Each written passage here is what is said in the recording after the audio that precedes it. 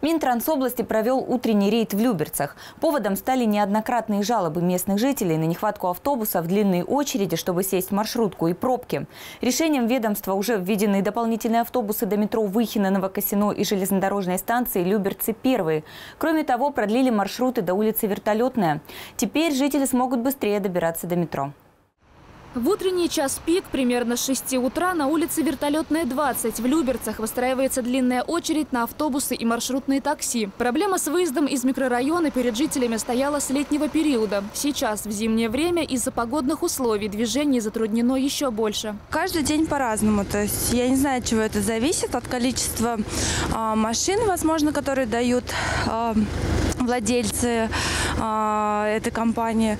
Вот. Либо от погодных условий, от пробки, то есть от разных факторов. Около остановки на улице Вертолетной выстраивается несколько очередей. Быстрее двигается так, где люди не против поехать стоя. Другая же для тех, кто все-таки предпочитает ехать сидя. Именно здесь люди теряют время в ожидании. К решению этой проблемы подключилось Министерство транспорта Московской области. И сейчас видны результаты. Уже несколько дней вместо 30 и более минут в очереди ожидание составляет 10 минут.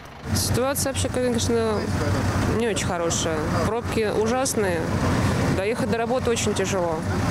Вот, ну, видно, что они стараются наладить все это. Поэтому я думаю, все-таки бригаду у нас на это вернули, нашу старую думаю, что наладится.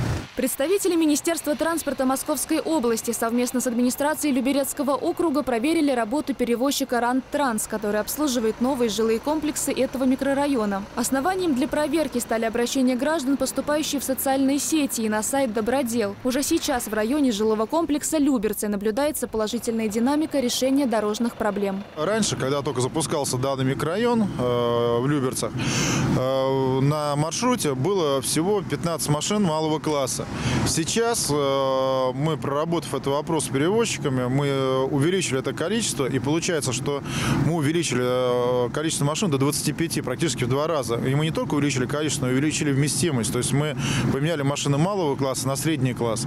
Теперь вместо 18 сидячих мест у нас в машине практически 30 сидячих мест. Так, в настоящее время перевозку осуществляют 20 автобусов среднего и 5 малого класса. Помимо расширения автопарка, планируют увеличить пропускную способность скорость самой дороги. Уже принято решение о продлении трассы следования маршрута 1232К до улицы Вертолетная.